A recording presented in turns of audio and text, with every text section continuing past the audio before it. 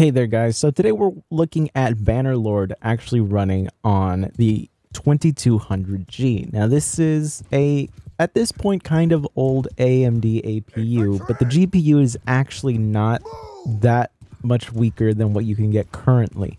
Pretty much the difference between this and something like, let's say, the 5600G is just, it really comes down to the fact that the GPU is a little bit better, just a tiny, tiny bit, bit better. It can clock a bit higher.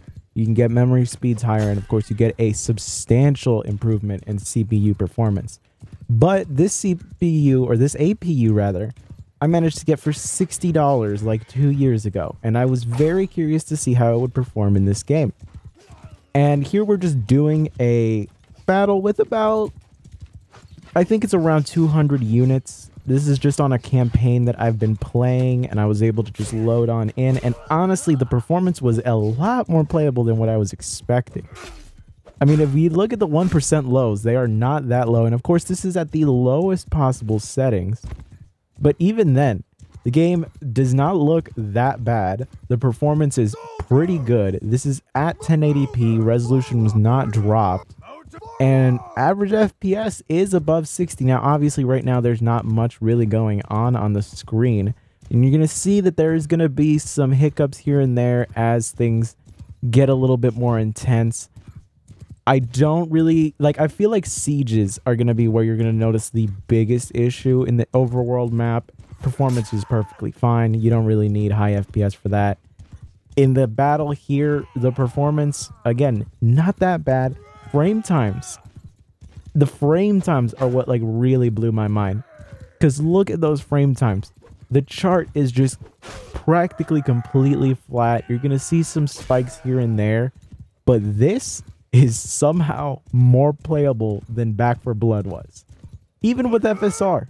And I really wish that this game had FSR. I, at this point, I'm completely sold on FSR. I think it's one of the best features that has come out for low end gamers because it's going to bring a lot more games to a playable state in a market where getting a GPU is already difficult enough, let alone in markets where GPUs are extremely hard to come by and will cost sometimes months worth of salary.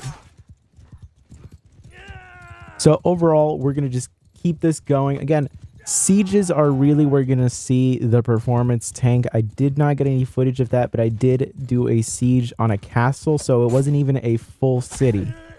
And that's really where the performance started to tank a bit.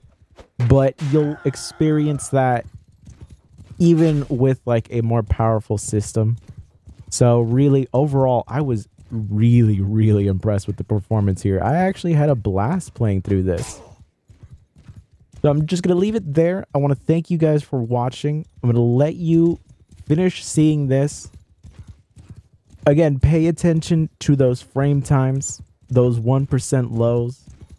Again, not the most intense battle going on here, but I feel like when you're playing the game day to day, this is going to be what you're really going to be experiencing most of the time. And honestly, this is pretty playable.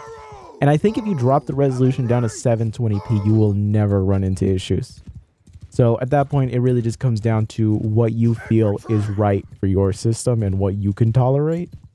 But this was just impressive performance for me. Like I, I was blown away by this because this game can be very intense if you're playing on a more powerful system. I normally play it on my laptop, which actually has a 2060, but it's a laptop. So not as good as the desktop one, but it's a it's 115 watts so pretty decent performance, and DLSS is pretty much the lifesaver so that I can actually play it at 1440p.